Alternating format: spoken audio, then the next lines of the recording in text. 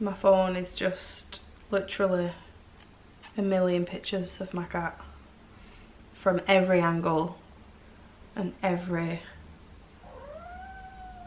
Oh, okay. Do you want to be in the video? This is going to be a video all about you and why you're so special. He smells so, so good. I've never known a cat to smell so good. I just love the smell of him. So I thought I would tell you the story about how I acquired a cat because in the last vlog I did, I just showed you my new cat and I never explained how we got him because it definitely wasn't planned. Mowgli, he's been asleep and he, cho he chooses when I'm recording to start making noise and playing. So yeah, me and Jordan have a 15 week old black kitten named Mowgli. He's amazing, I absolutely love him. But it wasn't planned. Um, we literally got a new place to live and a kitten in the space of like three days. It was ridiculous. So Jordan's mum was just babysitting at home um, with Betsy, who is Jordan's three-year-old niece. And they were just in the garden um, and Betsy said, Nanny, I can hear someone crying. Who's crying? Jordan's mum were like, what? So then they had a look round and they found Mowgli, just this little tiny kitten in this bush just crying. Um, so they brought brought him inside and he was like like it's horrible but he was half dead basically. He was just like this little limp kitten. So they tried to feed him and and stuff and keep him warm and stuff because I think he was cold. Um, I think he was really dehydrated as well Jordan like got really upset he thought this cat's gonna die there's no way this cat's gonna live so they kept feeding him um, they gave him some water in a syringe. I can't even say. Sh syringe, you know, the, I can't say that word. Um, and yeah, he, he was all right. He just, he slowly started getting some energy and it was a few days before before he was fully himself. I never saw him at his worst. I only saw him when he was better. He was this tiny little, literally this big, this tiny little kitten and he must have eaten around eight pouches of kitten food over like two days so he must have been starving so me and jordan were like right we got to find out who's this kitten belongs to or you know get the Cats Protection to pick him up or whatever jordan's mum doesn't want didn't want to keep him because she's had so many cats in the past and she gets really upset when when they die seriously yeah she gets really sad when they die and stuff so she didn't want a, another cat at this point i think we just viewed this place where i live now and we hadn't fully decided whether we were moving in or not. Or did we view it first? I really can't remember. I really can't remember which order it, it, but it was like within a few days anyway. So we decided to say yeah to, to this place and then we were sort of like, we, we could we could keep this cat, like we could. I can remember I'd finished work and it was around midnight. I got him from work and the second that I saw him for the first time I was like, I need to keep him. I just instantly fell in love with him. Okay, I've um, changed set up because look who's joined us. He's grown so much. Baby. oh, you want to play, dear? Ah!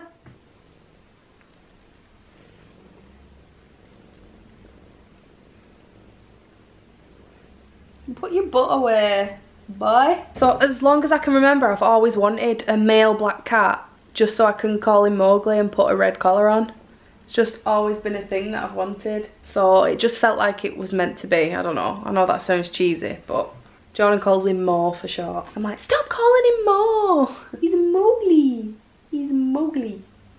Mowgli. Mowgli. He's so calm and chilled out. He just, he sleeps on the bed with us every single night and sleeps on the couch with us. He's just, I, I just love him. Just love him so much. We did find out where he came from. Um, there's a flat behind Jordan's house.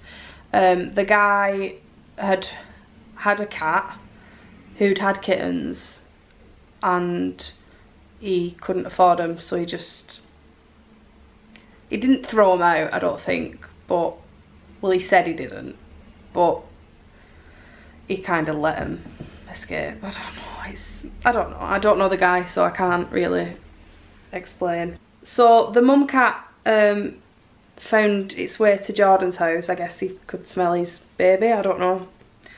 Oh, hello.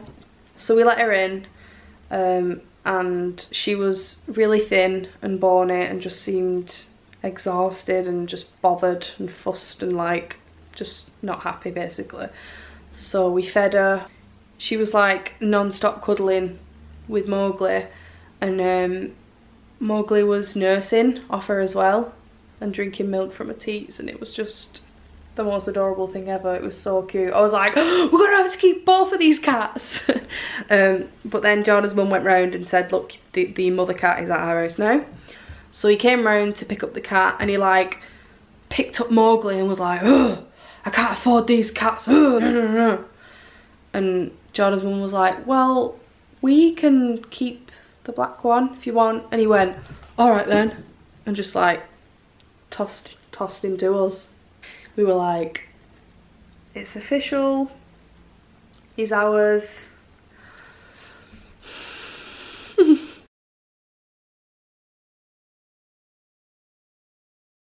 so then we got in contact with Cats Protection at first because we thought he'd just, it was just a stray cat. So we took him to the vets to get defleed, dewormed and all that stuff and they do that for free, which is really nice if you take a cat in off the street. I think they also have helped the guy with the other kittens because there's obviously more than one. He's just been so good.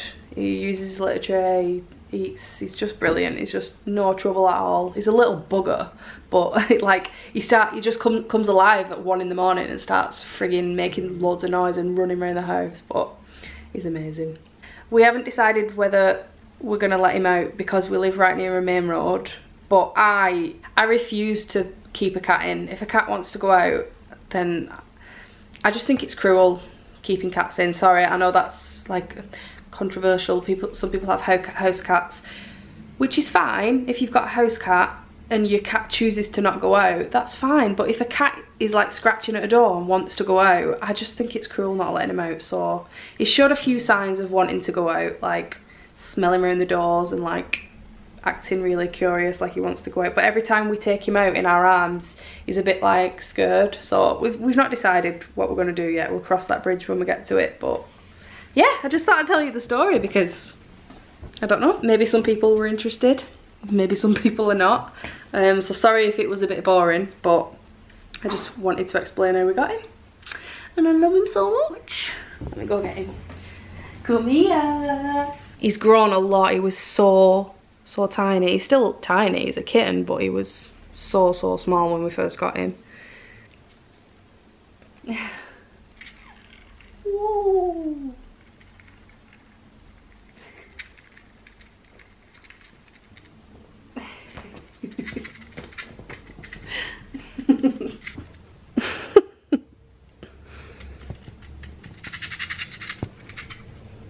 okay so thank you so much for watching. I hope you enjoyed the video and i'll see you soon. Bye